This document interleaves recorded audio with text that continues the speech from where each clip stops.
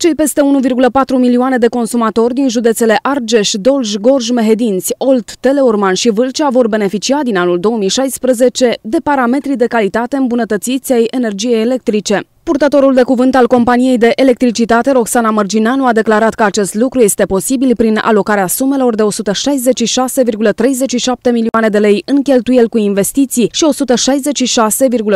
166,70 milioane de lei pentru punerile în funcțiune în cele șapte județe în care operează. De asemenea, aceste investiții vor conduce atât la reducerea numărului de întreruperi, cât și la creșterea gradului de siguranță în funcționarea echipamentelor administrate, a precizat Mărgineanu. Potrivit sursei citate, lucrările care s-au realizat și continuă să se execute în infrastructura de transport și distribuție a energiei electrice, vor asigura consumatorilor o alimentare cu energie electrică la standarde superioare. Totodată, la Drobeta Turnus Severin, echipele firmei de distribuție a curentului electric au trecut la montarea unor siguranțe de putere mai mare la fiecare scară de bloc. Decizia a fost luată de conducerea companiei în contextul în care nu se cunoaște data la care se va relua furnizarea agentului termic către populație, iar dacă vremea se va răci, atunci majoritatea se va încălzi electric.